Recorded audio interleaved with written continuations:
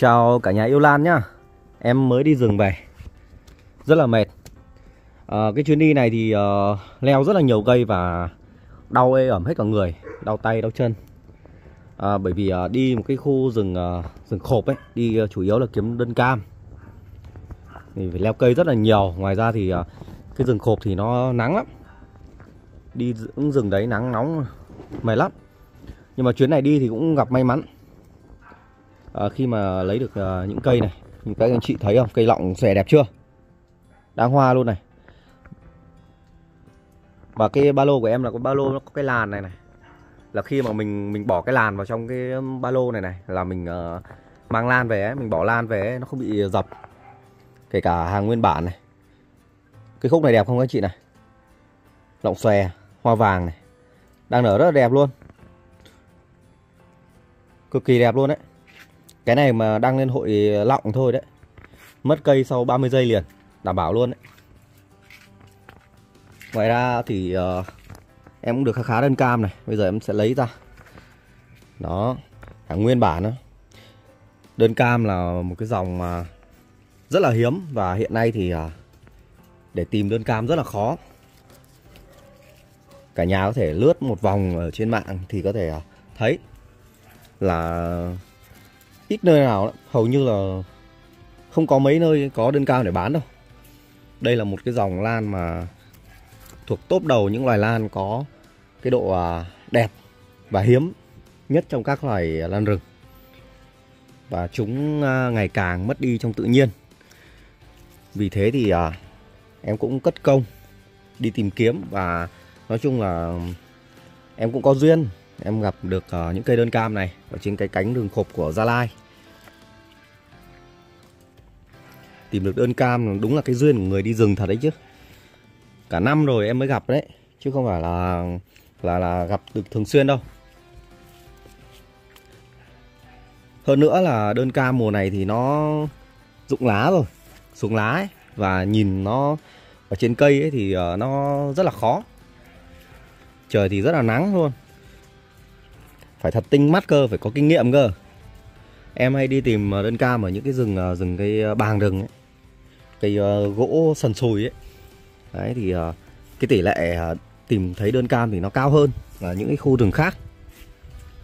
Mà nó không phải trên núi cao đâu. Núi cũng uh, hơi cao thôi. Nhưng mà núi đấy là đồng cỏ này xen lẫn với những cái cây bàng rừng nắng gió khắc nghiệt lắm nhưng mà cái loài lan này á nó lại uh, sinh tồn ở những nơi đấy nắng và gió không biết được mấy chục khúc em chưa đếm nhưng mà cũng tạm tạm. Chắc cũng uh, đủ chia sẻ một vài đơn đến các anh chị.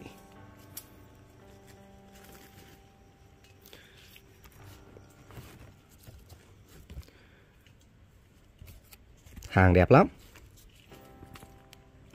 Nó ăn nắng ở ngoài tự nhiên, thân nó rất là nù các anh chị ạ.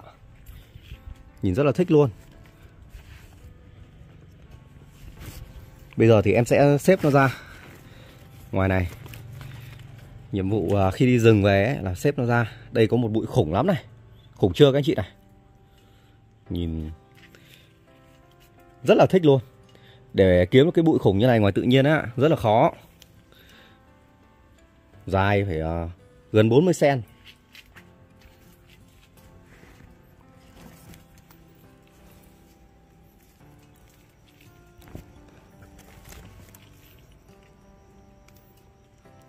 Đẹp thật chứ?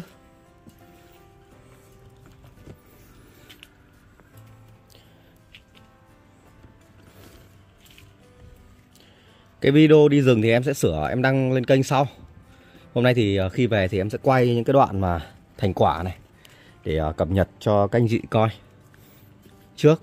Tại vì cái ờ, video đi rừng ấy, Quay cứ một đoạn một đoạn ấy, Về sửa nó, ghép nó hơi lâu. Còn khi mà mình đăng những video này này, về quay này, quay một mạch luôn ấy, thì nó nhanh. Được cái là có lan là vui rồi. Đấy. Ấm rồi. Và chắc chắn là rất là nhiều anh thị thích cái dòng lan này bởi vì uh, thỉnh thoảng em vẫn nhận được các lời uh, nhắn của các anh chị uh, nhắn tới hỏi uh, mua đơn cam. Tuy nhiên thì không phải lúc nào cũng gặp. Thành ra là em cứ phải uh, thất hẹn với các anh chị ấy rất là nhiều lần.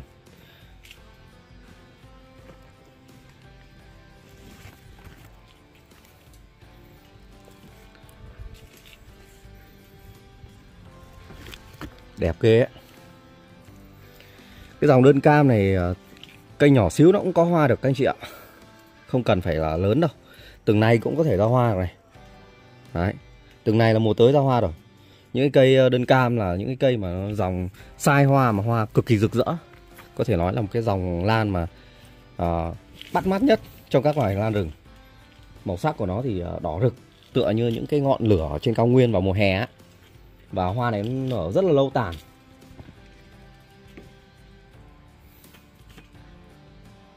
Ôi, có một cái khúc này nó bị gập rồi.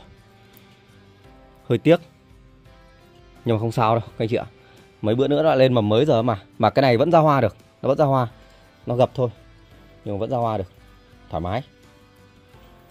Do là một cái khúc mà nguyên bản mà có mấy mầm như này, nó đẹp quá, em lấy nguyên khúc luôn. Đây nữa.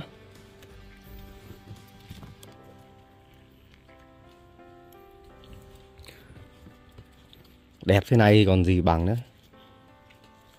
Hàng nguyên bản luôn trên kênh em đa phần là hàng nguyên bản. Những cái nào mà không lấy được nguyên bản thì mới phải bóc thôi. Còn uh, hầu như là lấy nguyên bản cho nó đậm chất núi rừng mang những cái nét của rừng núi. Về với các phố phường khắp ba miền tổ quốc.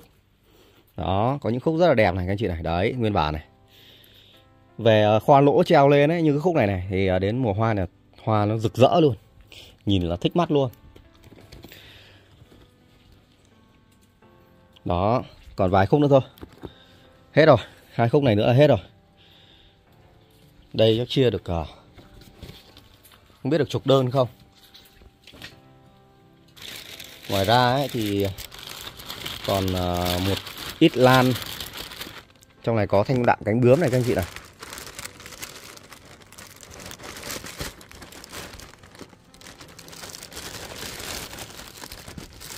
Thanh đạm cánh bướm là một cái loài lan rất là đẹp.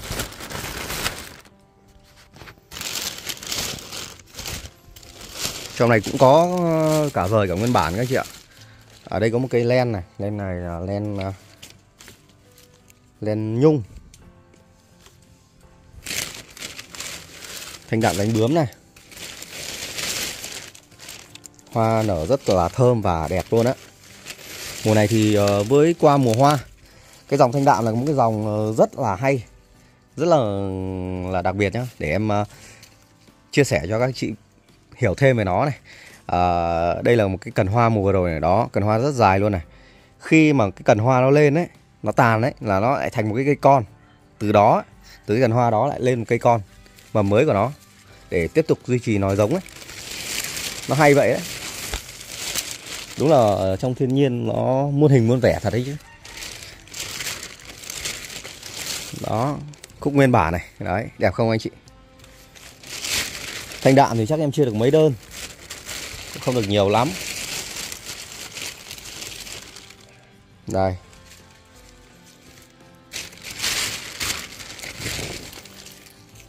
Thanh đạm nguyên bản. Thanh đạm cánh bướm. Nghe từ cánh bướm là biết hoa đẹp rồi đấy anh chị ạ. Nhìn hai cánh của nó như, hai cánh của con bướm. Và ở đây có một khúc uh, nhất điểm hồng duy nhất này, nguyên bản này các anh chị này. Đấy.